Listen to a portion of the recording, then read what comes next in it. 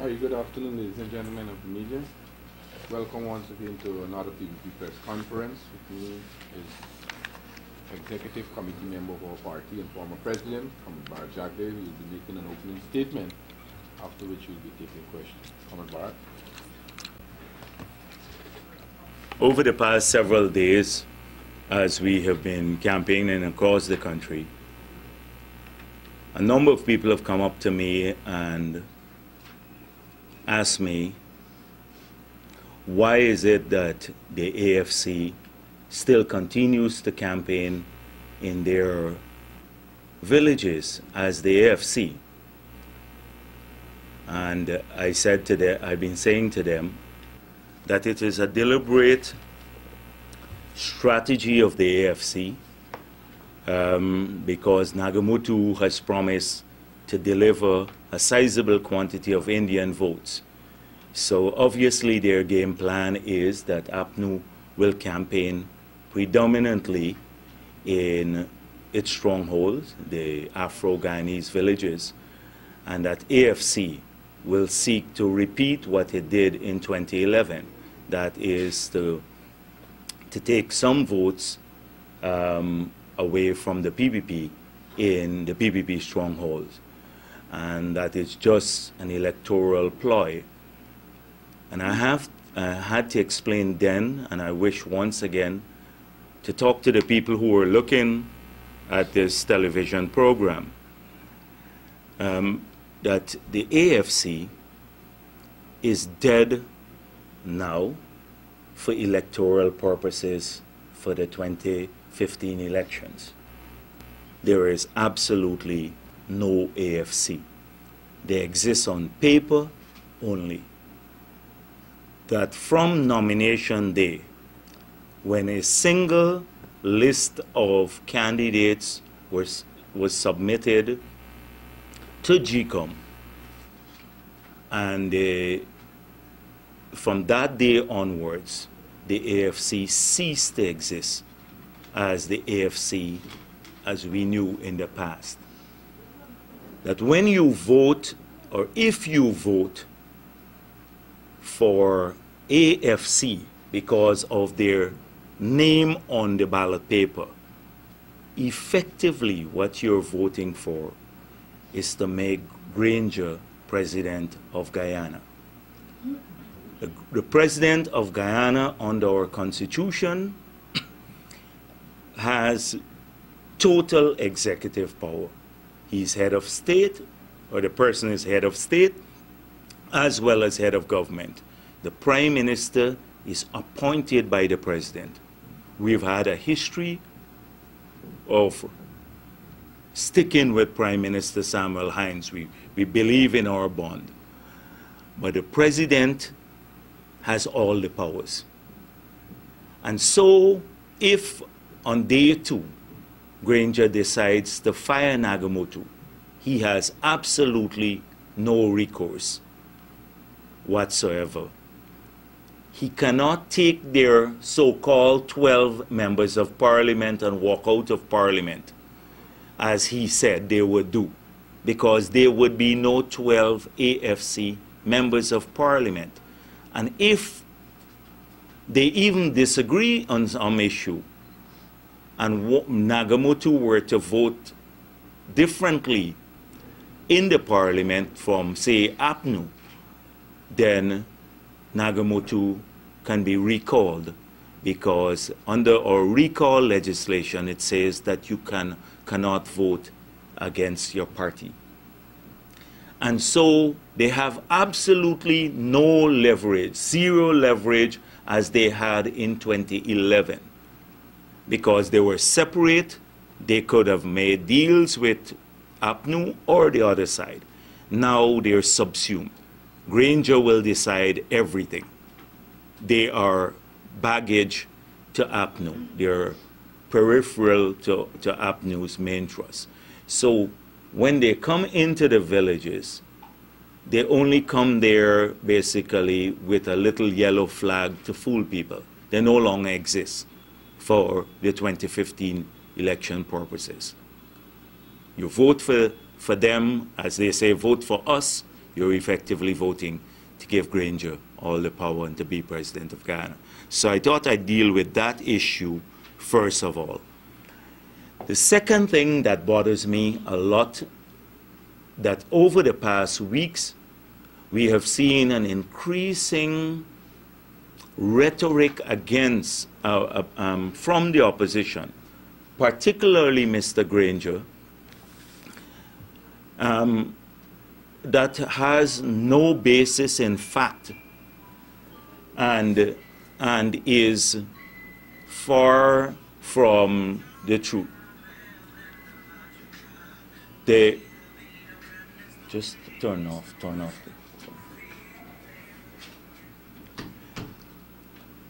So, Mr. Granger has been saying things that make that would cause one to wonder if he is in his full senses. He goes to, we've already had to deal with this unbelievable declaration that elections in the past were not rigged, contrary to what every single Guyanese knows, what every single international um, body knows. He has made that declaration and he has gotten away with it. But he compounds this by going to their meeting at Golden Grove and say, and, and he says, he said there that from 20, um, 1992 to now, all the elections have been rigged. So what he is effectively saying is that not only did we rig the elections, but that the Carter Center, the Organization of American State, States, the European Union, the CARICOM, the uh, Commonwealth, they have all conspired with the PPP, all these international observers, to declare every single one of these elections free and fair from 1992. That is what he is saying. Now, I can't conclude that Mr. Granger is losing his senses. I can only conclude because I would not want to disparage the gentleman. I can only conclude that he is preparing his supporters for what he sees as an inevitable defeat at the polls on May 11th. And he's already questioned the list itself they're now saying that we have thousands of Venezuelans in the interior who are voting, will vote for us, and Brazilians and Chinese. They're saying that we are buying ID cards. All of these things are to hype up their, their support base so that when they lose the elections, they can say, as they have done in every election in the past, contrary to the observers' reports and to everyone who has observed, uh, witnessed those elections that they were cheated. And so we see this as desperation on the part of Mr. Granger. He's getting desperate.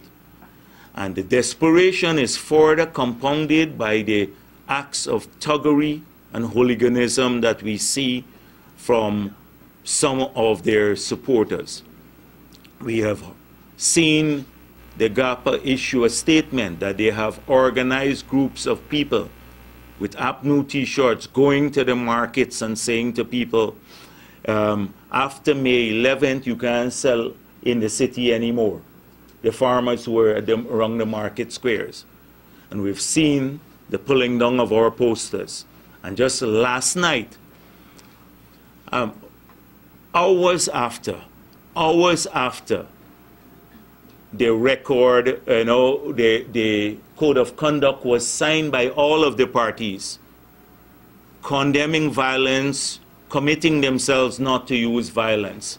They had a bunch of thugs stoning our meeting in Warlock, where Dr. Luncheon was speaking. This was hours after the signing of the Code of Conduct. And you had senior members of the APNU coalition there. You can see it in the video. Maybe we'll play it a little bit later for everyone, everyone to see. Um, but we can put, take off the video now because I would like the country to see how organized the thuggery is. Why do you have to come to our meetings and stone pe people who speak at our meetings? It's only an act of desperation that would cause you to do this. And then this is minutes after, hours after you've signed the code of conduct. And so we have to condemn this in the strongest terms, and we hope that GECOM is paying attention to it, and the international observers are too. I have noticed that in the last several weeks too, the attack on personalities has mounted. That the opposition seems to think that if it goes after individuals, that it will win the elections. And I, again, I wondered why. And then my conclusion is that they cannot deal with the issues, the issues of their track record, the issue about their most recent positions in parliament, contradictory positions, anti-national positions, and their lack of vision for the future. So if you can't deal with the issues about what you will do to make people's lives better in this country, the best way to, to, to pursue your campaign and to propagate it is to go after individuals. But even on the individual issues, we have seen particularly two media houses, but one more than the other, the Kaieteur News, has been fabricating a ton of things um, to help them along. For example, they're running a Jagdeo legacy ad, and they said that we spent $32 million on the Brazil fiber optic cable. It is, I mentioned that at the last meeting, that it is not true. That the state expended $4.5 million on the fiber optic cable to Brazil. It should have had stronger supervision. The contractors did not lay the cable well, so there is a problem with the cable, but not 4.32 um, million, no 32 million was spent on it. And this, in fact, the implementation of the project took place even after I had left office. I see they're mentioning the specialty hospital, that it was awarded to a company in 2012. And this is part of the Jagdeo legacy. Well, I left office in 2011. And, but let's talk about that, the award of that project. That Ramjattan and the others supported it. There were funds for it. When the bid came out and Ramjattan client lost the bid, it he came second, and he tried to get the government to reverse the award. The government did not. It stuck with the tender process. Ramjattan then went to parliament and influenced cutting the budget. So effectively what he was using, he was using public funds to pursue a private agenda. I've uh, argued that this has been an open case of conflict of interest and tantamount to corruption, as I've argued that Badal was his client when they tried to block the Marriott because the only beneficiary of blocking the Marriott would have been Badal because he has a uh, a hotel, the Pegasus, and he was worried that he would lose business if Marriott came on stream. And Ramjattan again was uh, part of the, the conflict of interest. And I see in that legacy they mention Amaila. And Amaila, the only people who benefited because the FIP Motilal contract, we had five bids, and FIP Motilal had the lowest of any of the tenders, any of the tenders there when it was awarded. And the, on the other project, guess who were the, the beneficiaries? Cathy Hughes was the PRO for Sithe Global, and Nigel Hughes was the company secretary for the company pursuing the hydropower. If anyone made money, they did. And so we have not gone, the contract for the hydro has not even been awarded. But that is supposed to be a Jagdeo legacy of corruption. And then about my Jagdeo destroyed accountability. Well, we had in my tenure a new procurement law passed, the program budgeting started, the IFMAS implemented, We've had the, the constitution changed so that the Auditor General could report directly to the National Assembly. In the PPP civic tenure that I'm, I'm part of, we started submitting our reports to the Integrity Commission as ministers, as the president. I did when I was there. The only people who have refused to submit their statements of income and assets to the Integrity Commission have been some of the opposition leaders. And maybe we should ask Ramjattan and a few others whether they have submitted their statement of income and assets to the Integrity Commission. And if they're so transparent, would Ramjattan, Cathy Hughes, Nigel Hughes, and Trotman make public their declaration to the GR, GRA, you will see if you a shocking story. I know from the past when I was president that some when they did a broad category of lawyers who were paying taxes, that the maximum tax being paid at that time was a few million dollars.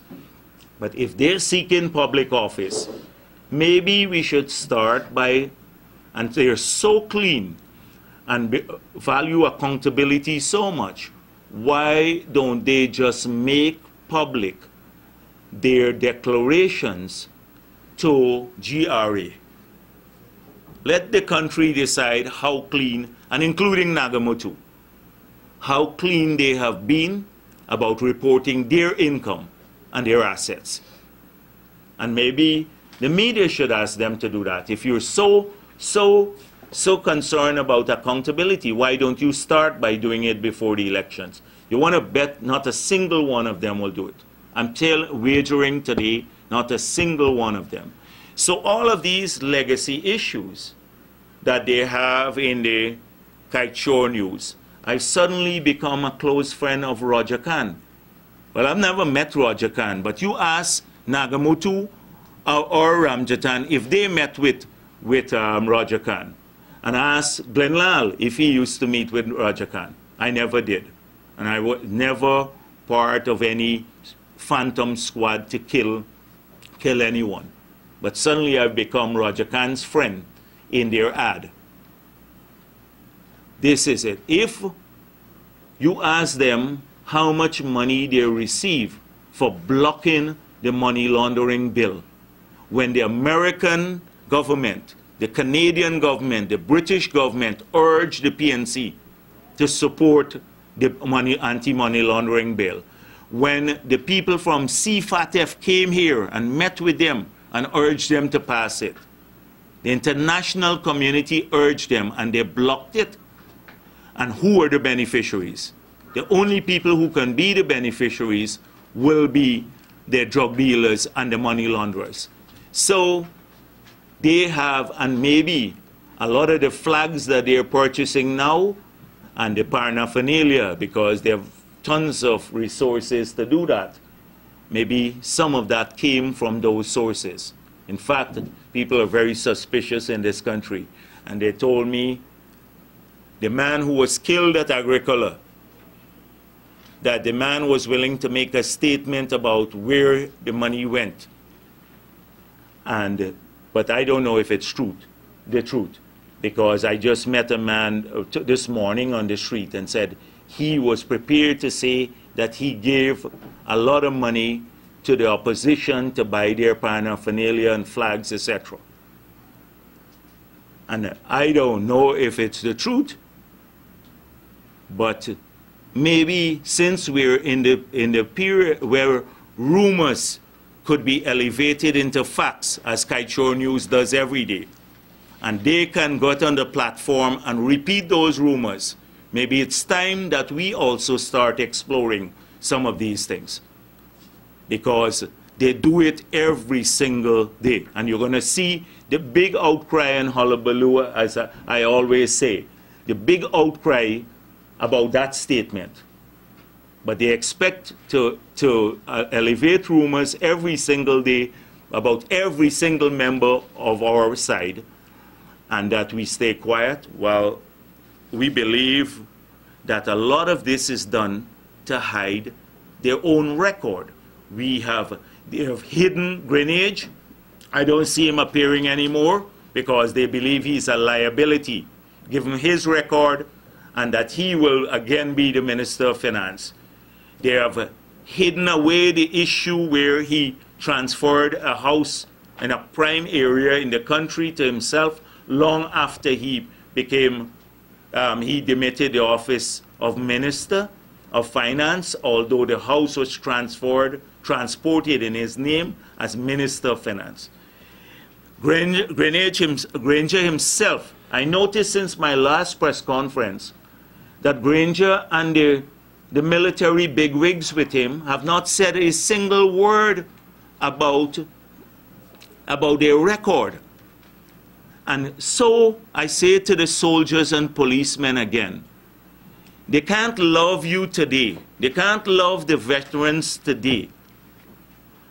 And when Greenidge was there, Minister of Finance, and Granger was the National Security Advisor, the budget for the Army, uh, capital budget, was 300,000 Guyana dollars in 1990, $625,000 in 1991, and 7 million in 1992. We have pointed out that this is one private today. It's so unbelievable, a single private salary today, one soldier in the army earns more than the entire capital budget of the Army in 1990. They haven't come back. They can't say it's not true. That the um, Gary Best pension today is probably 10 times that of the entire capital budget of the Army in 1990. His pension today. And so that is your record. Why don't you answer the record. Why don't you say they're busy to make statements about everything? They're prone to make statements. Tell the soldiers why. Tell the soldiers why. You didn't do something when you had the power, but suddenly now you love the soldiers. They haven't said a word about it.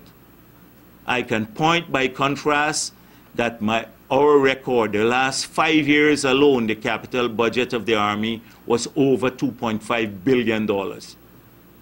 You do the maths and, and, and figure it out. Not a word about that. And so, we, these are the real issues. And they try to hide a lot from them. So, I want to I just managed, 15 minutes before I came, I got a copy of their manifesto that they're going to launch today, APNU's manifesto. And you know the, the fiasco surrounding them leaking their manifesto. And then, after we pointed out the contradictions in their manifesto, after we pointed out that almost 75% of the policies outlined in their manifesto was lifted from various documents that the PPP has already produced and published. After we pointed out that some of their policies basically not or just not contradictory but will bankrupt the treasury and the country they withdrew their manifesto. They made some changes. I noticed that they made some changes. But uh, they still have not addressed the fundamental issue that for you to to spend money you also have to create revenue streams. You can't, you have to create wealth before you expend it. If you do not identify sources of creation, new sources, sources and new sources of the creation of national wealth, and you keep spending more, you're taking the country back to a period where we had all the difficulties, the 80s, because you will have to find a way of financing the expenditure. And the only way you can do it is by debt. And if you accumulate more debt, you're taking our country backwards. So I looked to find the new sources of growth that are part of a consistent framework because you can pluck things from PPP uh, or from various documents, but you also have to have a framework, a vision, because all of these policies have to gel together. Their manifesto doesn't have any of that, the new one, the new version. I looked through, and I'm just going to be random in my comments because I've not read it carefully as yet. I've just scanned to see the sources of the growth, and there none of those. But uh, it is so, I, I, not just contradictory, but they believe we have short memories. So take, for example, Amerindian development. And I'm very happy that they chose this picture to put in their manifesto. Isn't this a wonderful picture? With these bright young Amerindian faces. Look at these kids lining up with school uniform and in a spanking new school behind them. And it's taken from now one of the communities. I'm not sure which community, but it is a testimony to what has happened under the PPP Civic from the days when there, were no second, there was no secondary education in the Amerindian communities, from the days when they had no scholarship, etc. We are very proud that we built secondary schools in, in so many areas, like four areas in Region 9 and, and in Region 7 and Region 1, and now we have tons of kids at the President's College and the Teachers Training College, and many Amerindians now in the police force, etc., and, and over 30 odd doctors who came back from abroad, now young Amerindian doctors. We're proud of this legacy. We're pleased that they put this here. But what they promise is to establish a hinterland and depressed areas fund for the Amerindians.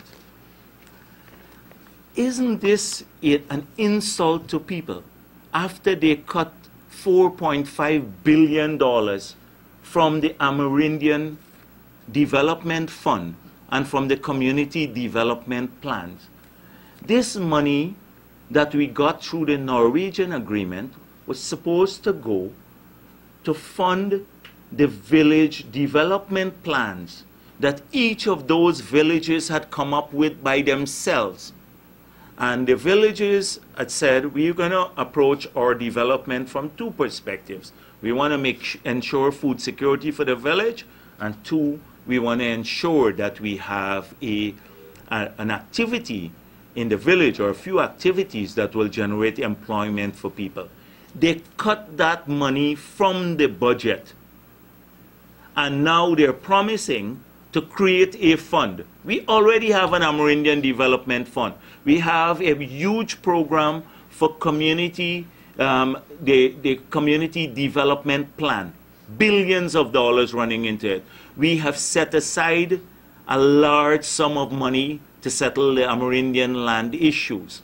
We are now putting in not just individual solar panels in each home, but we're putting in large-scale solar panels in each of these villages so that we can uh, computerize every one of them.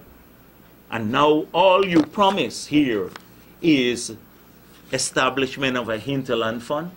It is an insult to, to Amerindian people. Insult, and that is what I'm talking about when I talk about their man, man, manifesto. They, they spoke about housing. Look at housing. One tiny section on housing. And the biggest initiative that they're promising under housing is a house rental initiative. House rental initiative. In this day and age, when our aim is to ensure that every Guyanese young professional own their own home. They're promising, their biggest promise is a house rental initiative. It is shameful, absolutely shameful. They believe that people should be, you know, should go and live in rent, rented homes we believe otherwise. We believe people should own things. It's this old philosophy, the uh, PNC philosophy, that you don't create wealth, you don't create personal wealth or individual wealth. People should not accumulate things. Spend every cent of it on rental. Old philosophy. That is their, their policy. Under youth development, they say establish a national youth council.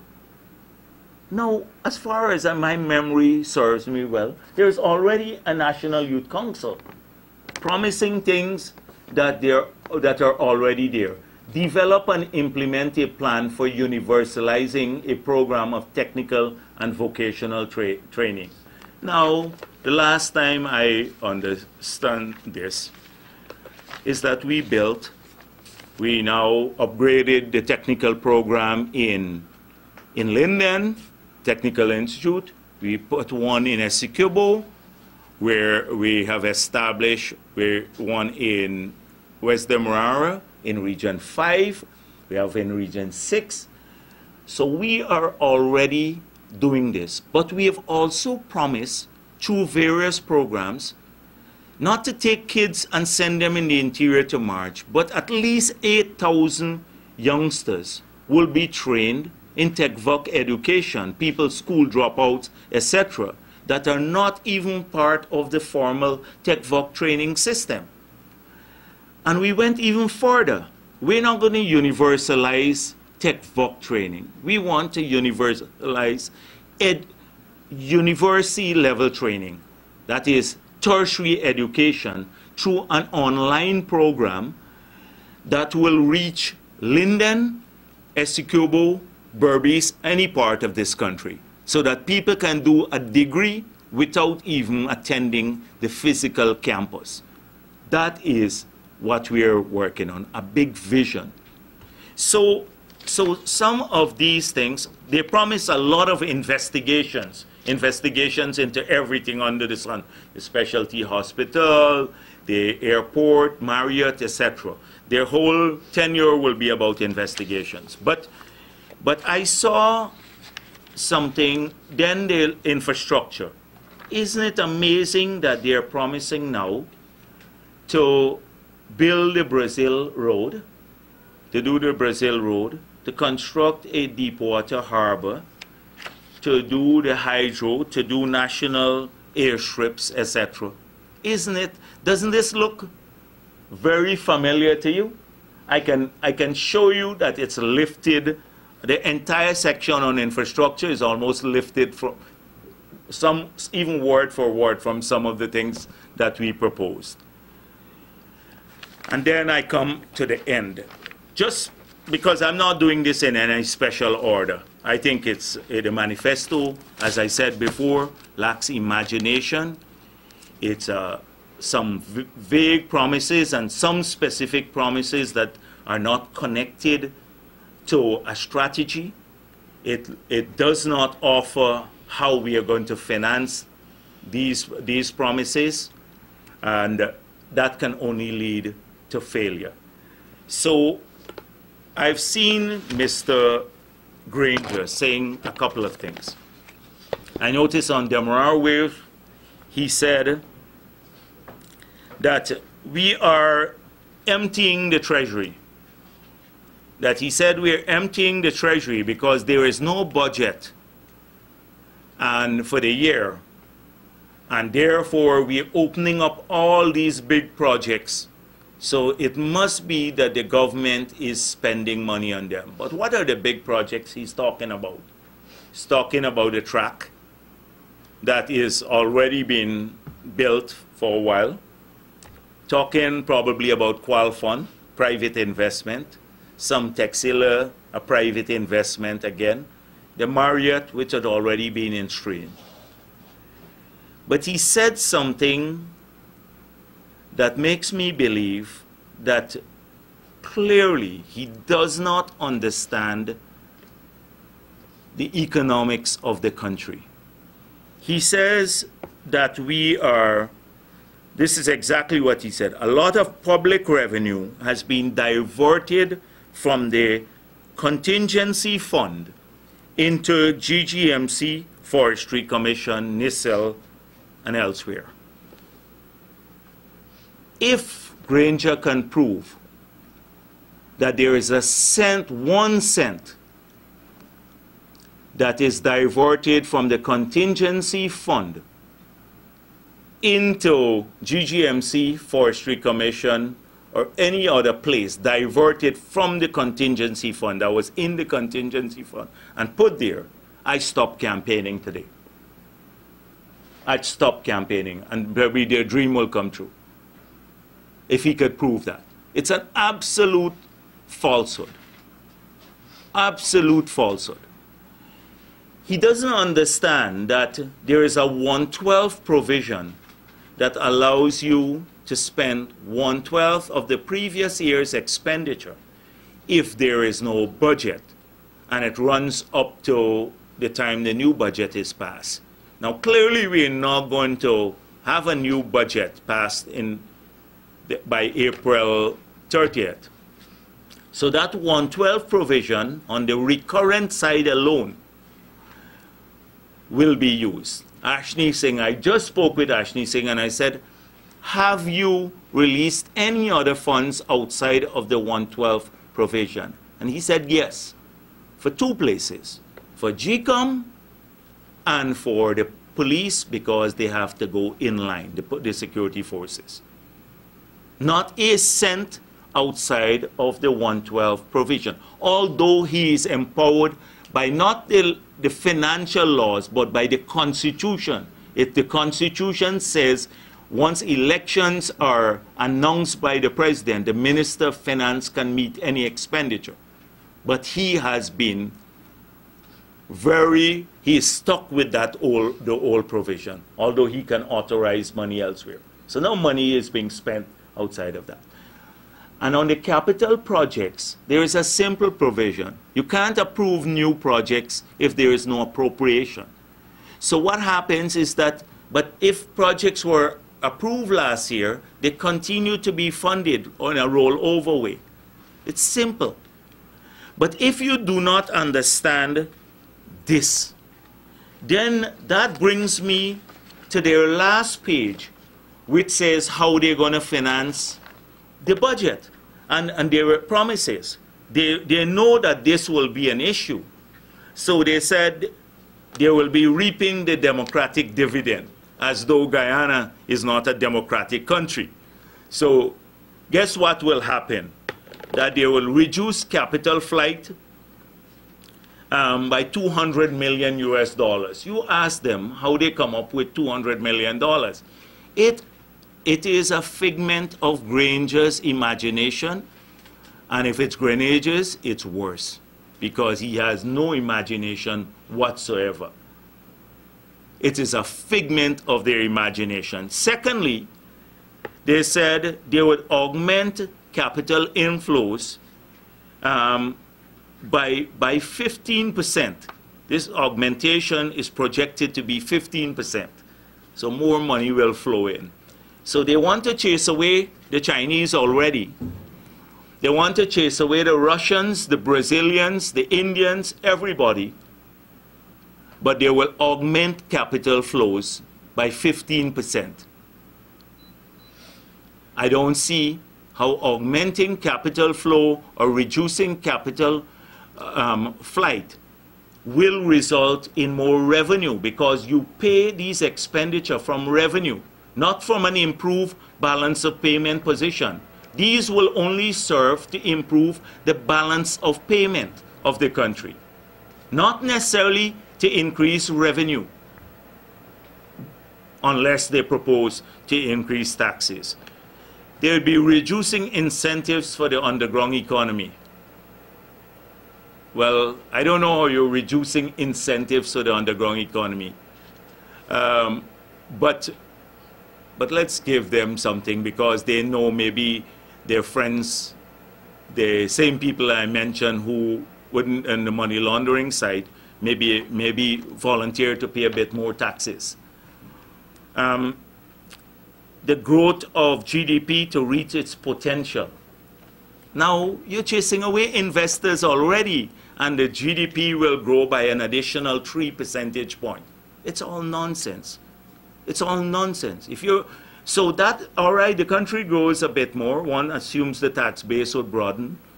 But had, had they not cut the budget by $80 billion in the last three years, the country probably would have been growing by 8% more. Had they not cut the budget in the last few years. And something about we're siphoning off 1% of PetroCaribe money. Pure nonsense pure nonsense. This is what they, they said they will do to finance the budget deficit, um, not to finance their promises. Now, clearly, I saw them saying earlier, again on Demerara Waves, they would use money that we already have to pay the, these things. But let me make it clear. In the last three years, we have run a fiscal deficit on average about 5% of GDP. It means that our expenditure are greater than our revenue by 5 percentage point of GDP. It was 25% of GDP, the, the deficit was in, in the past. One quarter of the size of our economy when we got into office. It's now 5% of GDP. So when we have this deficit of 5% of GDP, we have to either borrow from abroad, because we don't borrow much from the ba local banking system, or we get grants. So it's through loans and grants to finance that deficit. So there is no money automatically in the treasury just like that to finance because we still have to finance a deficit. They're confusing the money that we have in the central bank in reserves. But there is a cost to spending the money. There's a cost. And if the country runs out of reserves, you know what will happen. The exchange rate would collapse, inflation would skyrocket, or balance of payment will go out of whack. And what's the only tool that you use to fight all of this? Like in the past, when the exchange rate was, was collapsing, they had to push interest rates to 35, 37, 40% under the PNC just to prevent the exchange rate from collapsing further because in a single year it collapsed by a, maybe 800%. It is old philosophy. So this manifesto, it is just policies taken randomly from PPP civic documents. I, we can give you the documents, has no strategic framework. It does not identify the real sources of growth, how growth will come and revenue will come, how it will expand the economy, what the policy prescriptions are for unlocking growth in those sectors. It does not speak about a, a good use of the resources. It is definitely it will not have, you not have macroeconomic stability, you'd have monetary chaos as well as fiscal chaos in this country if we pursue this hodgepodge of promises. It's all empty promises that they're making. They've taken every person's concerns in the country as they walk around and try to put them in here.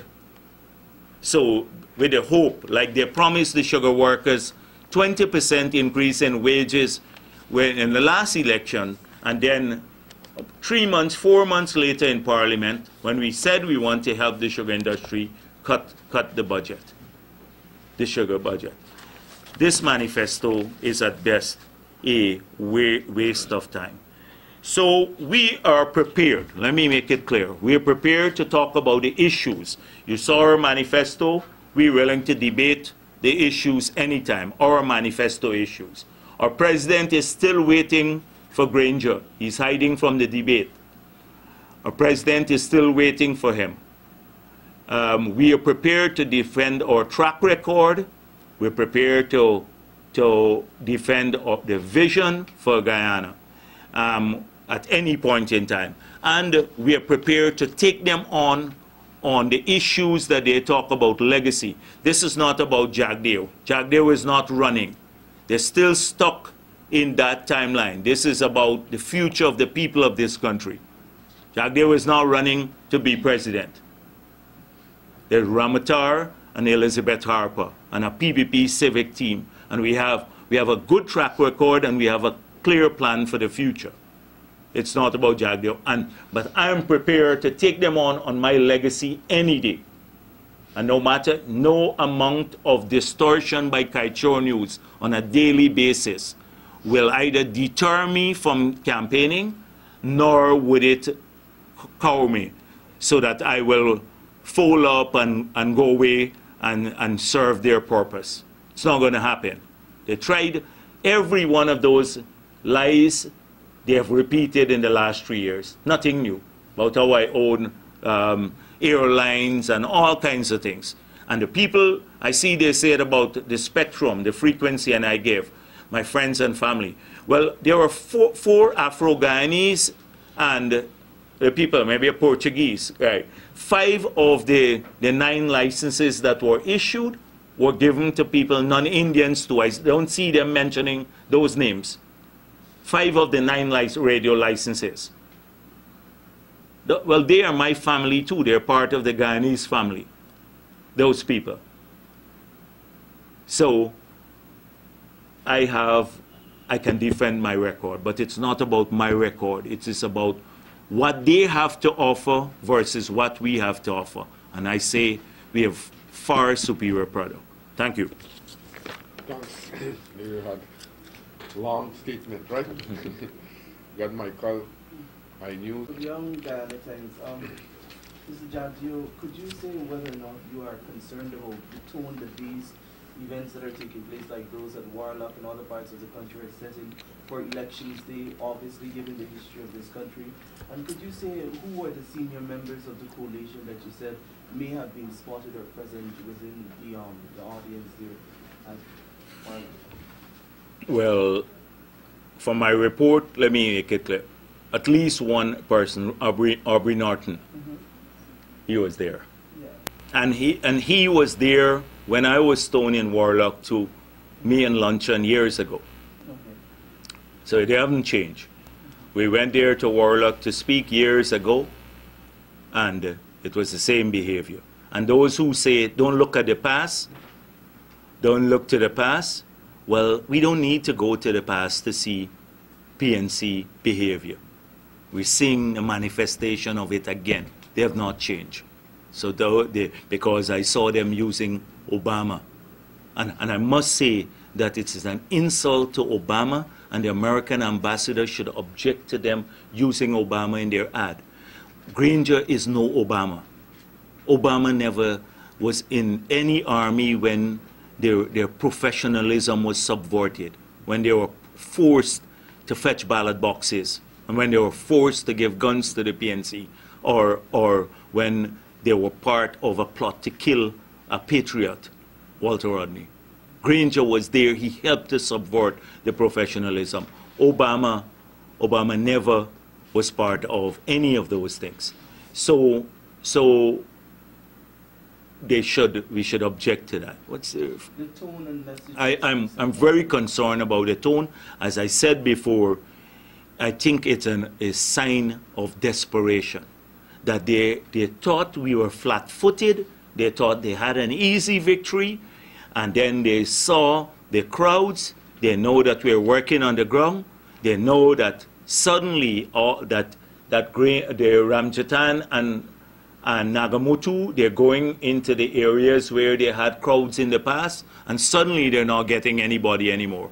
I heard they went into Windsor Forest last night. I was in Forest, and we had guy said to me, the biggest crowd ever, even in say, 92. And the last elections, I heard they had a bigger crowd than we had in Windsor Forest, AFC. They got four persons there when they went there recently. So, what the, the promise of delivering all of this support has suddenly been evaporating rapidly, and they're doing, they, they understand it internally. And so they're becoming more desperate. And as they become more desperate, the country needs to get to, to be more cautious. And the international observers and GECOM. Or is it- Yeah, yeah. or is it for executive? Oh, for it? Uh, one, one, one minute. Oh, sorry. Sir, I want to take you back to the statement you made about the Agricola that was executed. Sure. Now, you said you were informed of such by someone from off the street. Could you say if that person provided direct evidence more than hearsay? No, uh, I know you're going to want to say provide evidence. That's why I said that I don't want to elevate rumors to facts. I said, I don't know if it's the truth. I said to you, someone told me off the street. But every single day, this is what they do. They elevate rumors to facts, they publish them in the newspapers. If we were to play tit for tat, then I would say, I know this is to be true. I don't know it to be true. So I, that is why I'm saying that I was told by someone because there are suspicions of people out there. I don't want to, I don't want to do that, elevate rumors to facts. And I don't know whether it's true or not. But I can, I can tell you the APNU has said that we brought in thousands of Venezuelans in the interior to vote. And they say this on their platform. That's a rumor that we are buying ID cards. That's a rumor. If we, if we do the same thing, like I, I just uh, said here, then, then where do you draw the line? And people should fact check, check these things. The media should, rather than, rather than take sides, fact check people stuff. I, I came here and I showed you a section of the budget. I showed you a section of the budget on their record that Greenwich put. Why not fact check, fact check that and ask Granger? Let him come up with an alternative explanation. If he can, then it says a lot about his record. The campaign needs to move into more factual issues. Unfortunately, no one is held account for the facts. And so if I, if I am misleading it with the facts too, then I should be called up and exposed. But I did not say I know it to be true, nor did I say I have evidence. I just told you what I heard, and, and we can simply raise it anywhere. Yes, Dennis, please. Mr. Jagdeo, um, could you say uh, whether be under your tenure as president uh, that you were instructed that the military criminal, uh, the military, the military intelligence unit of the army be shut down? And secondly, um, why under your administration uh, there was a deafening silence about Roger Khan's repeated advertisements in, pa- in the newspapers about him having played a major role in averting a coup. I first thing, I don't know about Roger Khan averting any coup in this country because I don't think there was a plot to overthrow the um, the country, the the government from our security forces. There may be a there may be a, a, a plot by those in Buxton and their intellectual authors to create a situation in the country that made it ungovernable as they had promised so often before. But the security forces, I can arrest, I know for sure, were never engaged in any plot to overthrow the government or no coup. And once the security forces are not part of any, any plot, I know our security forces can take on anyone. They're well trained, they can take on anyone who seeks to subvert our constitution and the government of the day. I'm confident about that. So I, I know I don't pay too much attention to people's ads, etc. That's one. But Roger Khan was never my friend.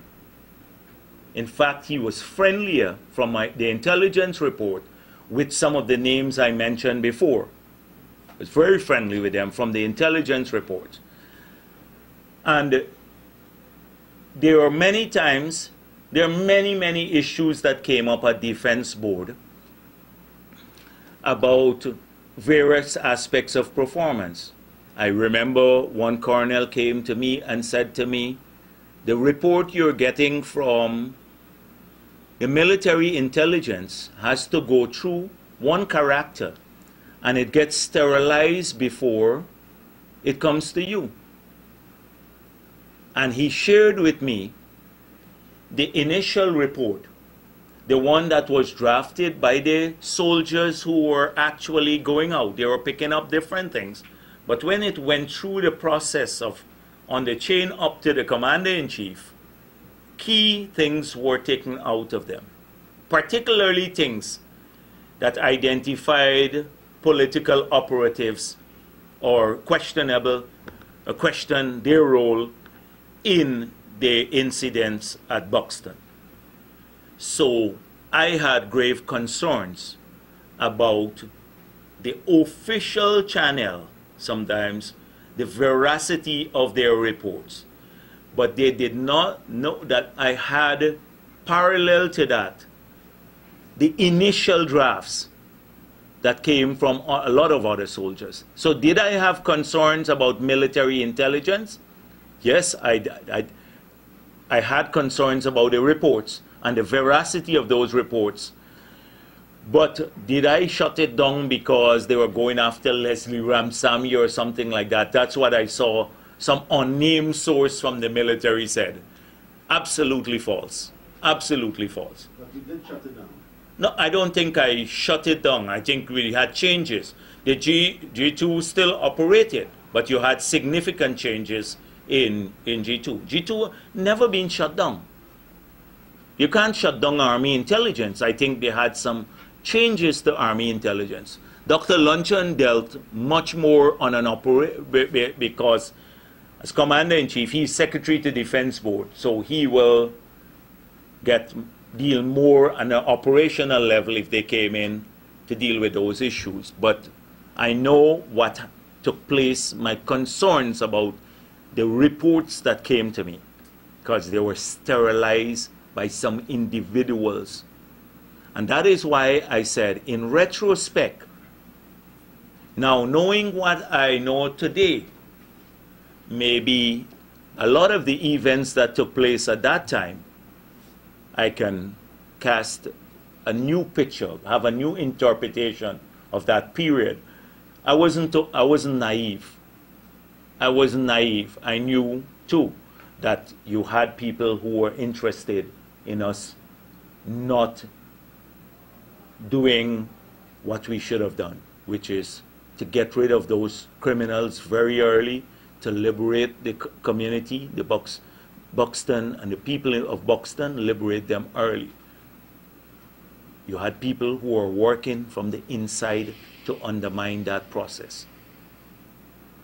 You know, you yourself know that from the time sometimes the soldiers leave the barracks to do a morning raid, already in Buxton, our informants in Buxton were saying the people have moved to the back already. They know, they get a call. A lot of things happen in that era.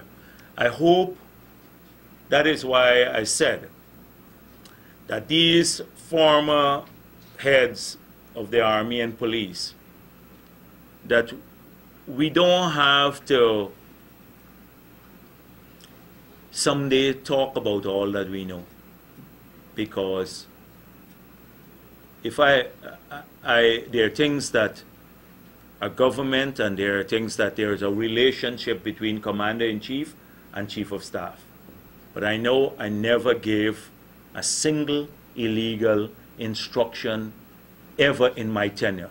Anything that is contrary to the Defense Act, the Constitution, or no, nor have I asked anyone to deny any citizen of this country their, their, any of their rights, including to set up these squads, whatever they say, these death squads or whatever, that kill 500 and 800 people, etc. You saw that in, in the ad. Yeah, yeah, yes, go on. Can I, can I follow? You did say that there were people who were working on the inside to undermine some of the processes. Yeah. But did you not, not approve, but did you turn a blind eye to unconventional means to get rid of some of these criminals? No, no, we didn't. There was, there was what I thought. There, there was no, I didn't think the criminals were helping us. At one time, they got into a conflict with the group out of Buxton. I think this came after that group kidnapped one of their own. And that's where the war between these two parties started. And let me tell you what I said to everyone, including the donors and everyone. When a single soldier or policeman loses his or her life because they killed a lot of them, I worry. When ordinary people lose their lives, I worry a lot because the soldiers, their mothers and sisters and fathers would come to see me. I have to see all of them. But I said, if these criminals kill each other, I, lose, I don't lose any sleep at night. That's what I said. Because they were just brut, brutal. A lot of them were killing ordinary people. So that was my approach to it. But I never turned a blind eye to anything because we went after all the criminals in the country. So I don't, I don't have a problem. And, and you can understand maybe today, given what has happened with particularly with Mr. Collins and Felix, how difficult it was to be commander in chief. And now today, in retrospect, think that maybe the, every time we gave an instruction, a lawful instruction, it was never carried out professionally. That is what uh, the question that we should ask. That when the lawful instructions were given, and they're all lawful, when the defense board says that we should do something, whether they were actually carried out professionally. And had they been carried out professionally, whether the country can, uh, would have been spared the trauma that we went through so many people losing their lives, including soldiers and policemen, and, and so much confusion, loss of property, etc.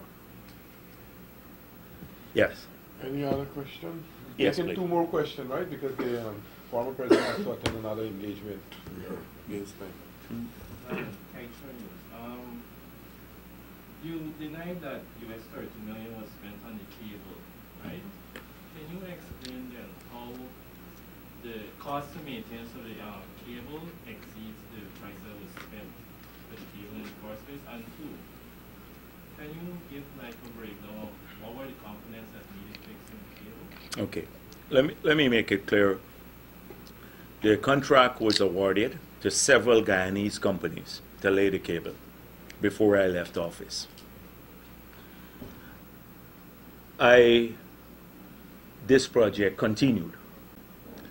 I gather this is all I'm speaking now from being outside of the government, because that was my last engagement that a contract was awarded when I was there to several Guyanese companies to lay the cable. The cable was supposed to bring cheaper bandwidth in to our country for the e-governance project and for our rollout of free Wi-Fi to the public across Guyana with bandwidths up to maybe 250k so that we could people who would have gotten free laptops would be able to connect to the internet. That was the purpose of the cable. Because the cost of bandwidth would have been just over $500 per meg on this cable when the cost of it at that time was over $2,000 per meg from GT&T. Okay, that was the purpose of the project. So cheaper bandwidth means we could have supplied more people. From what I gathered, that the the cable in some sections were not laid properly. In some sections, that it was not laid deep enough, and so when the rains and you had difficult terrain, rock, rocky surfaces, etc. So when the rains came, apparently these cables were came out and they were damaged. And that repairing the cable, so that the government needed to spend some money on repairing the cable. From what I gather, again, this is all information that's coming to me, that there was a proposal to fix this cable, but that the people would do some things in addition to that. They would probably put maybe bury the cables in conduits, which might be different, cost more. So rather than bury the cable directly, they will bury it in conduits, etc., so that then you, you can avoid that kind of reoccurrence in the future. So from that perspective, the cost may be higher now because how they lay the cable will be different. Now, is there a monopoly now on this cable? That's not true. This cable, we need 30 cables. I thought that everyone would celebrate anybody who wants to bring in a cable. So GT&T brought in a cable, but they're the only supplier of fiber optic bandwidth now to Guyana, GT&T. So Digicel applied and we gave Digicel permission. Um, that is some, I don't, I don't know exactly when, but it should be recently. Digicel got permission. With this third cable coming in, and I gather it's a joint venture between a local person and someone from Venezuela, that this cable will allow them to pass traffic from northern Brazil through Guyana to North America. Because there's some concerns in northern Brazil that they only have one route through Venezuela now. So then you need redundancy in the system, you know, multiple connections. So if one goes down, it doesn't affect your operation. So that is what I gather. But we don't need only three cables. If we get, some countries have 15, 20 cables. The more cables we get, the lower the cost of bandwidth. That, that means then cheaper internet services to our people we can move to 4G applications quickly. We can then have maybe 2 megs, uh, the usual on a mobile device. So you can start streaming on your mobile device, videos, a whole range of stuff. It will change the landscape in Guyana. Right now, the cost of bandwidth is too high because we only have a single cable. So you can't get um, enough bandwidth to even stream properly if you have Netflix or any other, you're trying, you go on YouTube or some of the other places, much less to get enough bandwidth on the mobile devices, which is what we need for people right across. So everyone who has a phone then could watch a movie comfortably, watch anything on, on their phones, the fourth generation. We need more cables. So this talk about, I saw their ICT section. If we give 10 persons, tomorrow if you want to build a cable, bring in a cable, I'm suspect the government will give you permission too, because it's your money. And if you're willing to risk your money and bring it in competitively and sell bandwidth cheaper than GT&T, the country benefits. There's absolutely no monopoly on that. As many cables as we can bring in will be good for the country. So why why is this big hullabaloo again about this cable? I know that this particular cable had difficulties because it was not laid properly, but it's been fixed, and there are others who will bring in cable. So I thought this is good for the country to open up the sector. We want plan to liberalize telecommunication. I see they're promising it, but they're the ones who give a 40 years monopoly on the cable. On not on cable, on telephone services to GT&T, internet services. And GT&T over the years have consistently blocked many of our ICT initiatives. In one, they they managed to block a loan years ago. This was in the early 2000 that we had before the IDB to roll out internet services cafes across Guyana, supported by the government. So, so I thought this was a really good thing. I see them saying, don't give out all of these licenses. This is not a monopoly sector. You want more people to bring in cable. Okay, right. I just have one follow-up uh, question. When you say that you've never turned a blind eye to anything, the U.S. League Cables expressed a connection with Roger Khan um, and various members of the government. Would have, wouldn't you have had knowledge of that?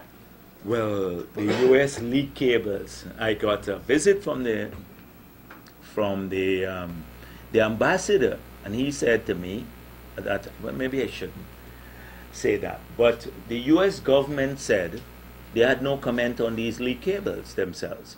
But let me tell you why I have to be careful about, had to be careful about these leak cables. I explained some time back that the US government at that time came to me and said, after Felix got caught up with this tape and he had to leave, you know, the, the tape that somehow has disappeared.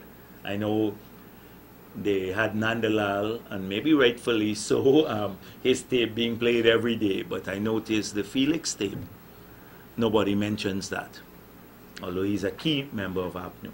So after he left, I got a visit, and I, I explained this story already to the public, so I'm just repeating what I said.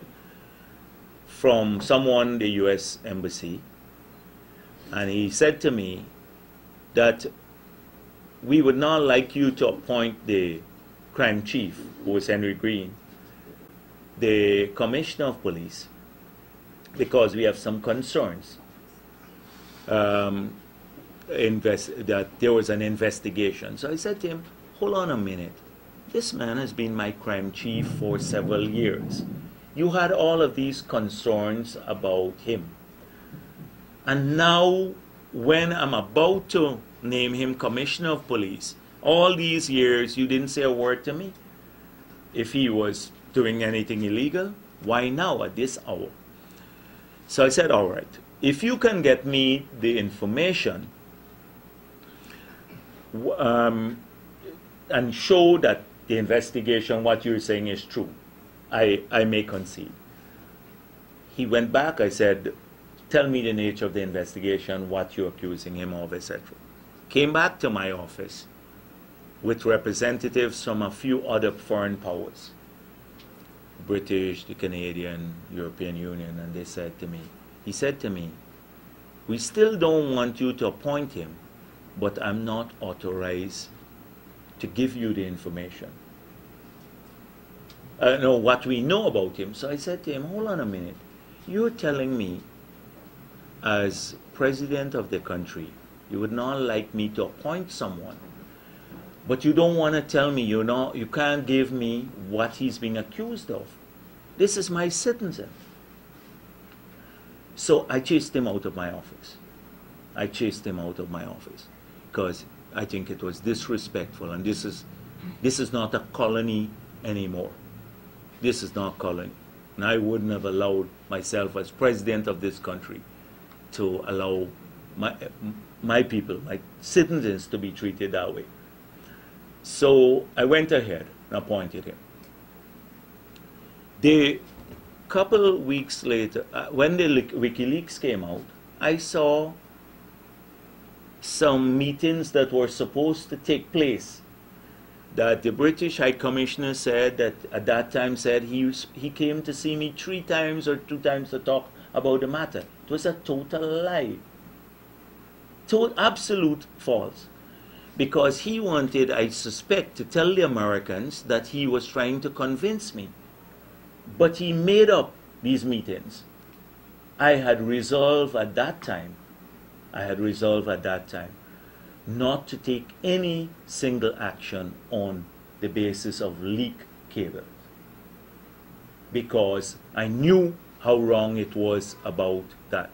And then when I look further about the frivolous things in the cable, I found also that Mr. Stanley Ming, that we, we had a report that said, a U.S. drug report that said the government gave some forest concessions to a drug dealer. I don't know, I think it was Roger Khan, same Roger Khan.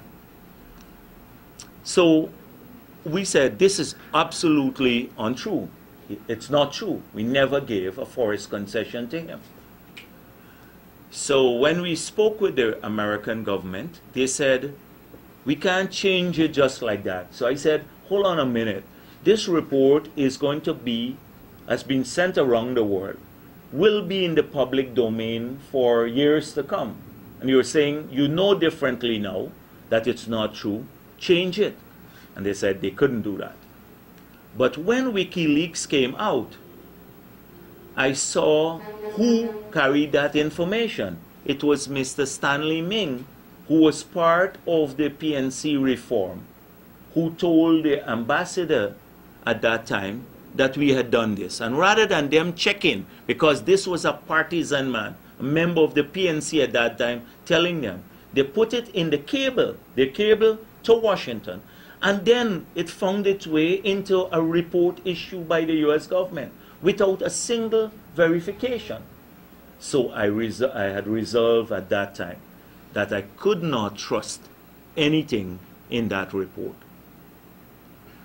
And so that is why I, I didn't. I saw the report talking about people's affairs and all kinds of stuff around the Caribbean, and I wonder, really, is this what people do in your country?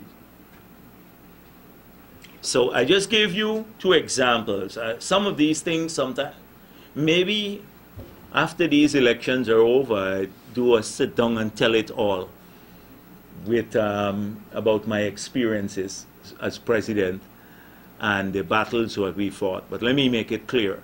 I'm not allowing any foreign power. If tomorrow Granger gets into trouble, or the worst PNC person, I'll defend him as a Guyanese. I'll defend him against a Guyanese. If anyone tries to, foreigner tries to snatch away his right, this is my country. I believe in the people of this country.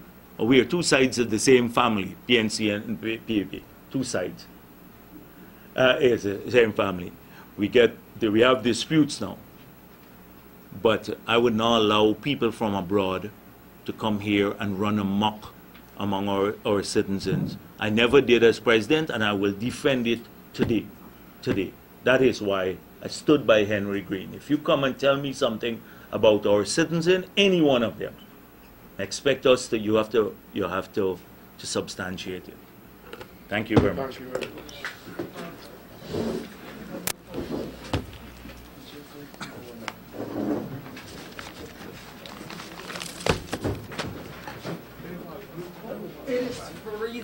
Um, Yeah. Maybe some of you can come here. it better for me rather than to look over there. If you come across here. Dennis, Come push, we'll go. so I can look down the table. I, I don't want to leave you out. Push for, come over here, please. here, you don't have to look at me. Yeah, what about